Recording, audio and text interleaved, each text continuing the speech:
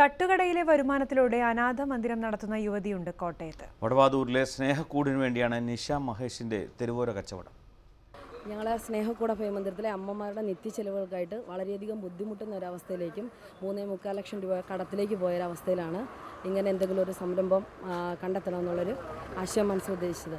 ആദ്യം ഒരു ബജിക്കടയായിരുന്നു നമ്മൾ പ്ലാൻ ചെയ്തത്.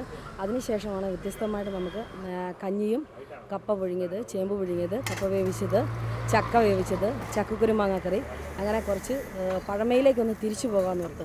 അപ്പം നമ്മൾ ഇതിൽ നിന്നുള്ള കാര്യങ്ങൾ ഞങ്ങൾ റെഡിയാക്കുന്നത്. ഞങ്ങളുടെ അമ്മമാരോട് ചോദിച്ചിട്ട് പഴയ കറിയുടെ കൂട്ടുകളെല്ലാം അവരോട് ചോദിച്ച് അത് പരീക്ഷിച്ച് അങ്ങ് അതിൽ നിന്നാണ് നമ്മൾ ഇതുപോലുള്ള പഴമയുടെ രീതിയിലുള്ള കറികൾ ഇവിടെ എത്തിക്കാൻ സാധിക്കുന്നത്.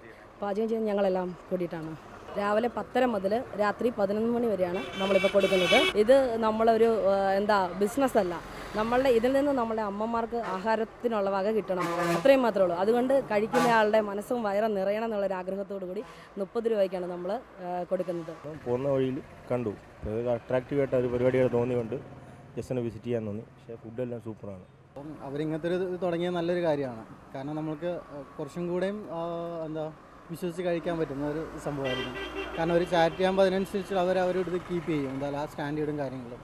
പ്രസാദ് വെട്ടിപ്പുറത്തിനൊപ്പം കോട്ടയത്ത് നിന്ന് എസ്. അജിത് കുമാർ ഏഷ്യാനെറ്റ് ന്യൂസ്.